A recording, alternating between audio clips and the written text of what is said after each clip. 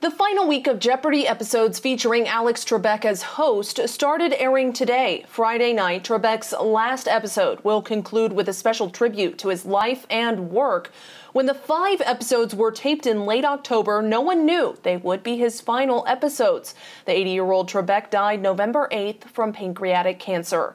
Katie Johnston for CBS Local News.